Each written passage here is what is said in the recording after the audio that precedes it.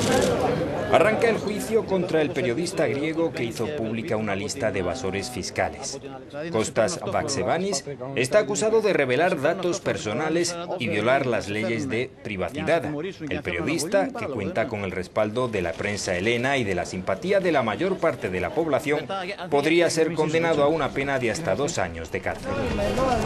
Vaxevanis ha acudido al tribunal junto a sus abogados, a pesar de que este jueves en Grecia hay una huelga de letrados. También le ha acompañado Jim Bumella, presidente de la Federación Internacional de Periodistas. Estamos asombrados por lo que ha ocurrido. Por esta razón, estoy aquí para testificar y denunciar esta absurda farsa que no tiene cabida en muchos otros países. Por esa razón, la Federación Internacional de Periodistas pide que se retiren los cargos.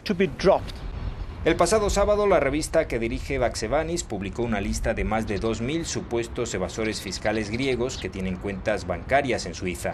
El listado fue entregado al gobierno griego hace dos años por la entonces ministra francesa de Finanzas, Christine Lagarde, para que persiguiera a personas con capitales evadidos en la Confederación Helvética.